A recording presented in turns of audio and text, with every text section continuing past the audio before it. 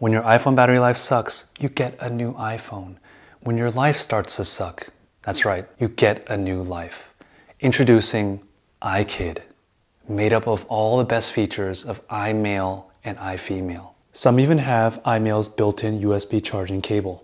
iKid comes in all different colors. Can we choose a white one? It's only letting me choose a yellow one. All colors are made equal.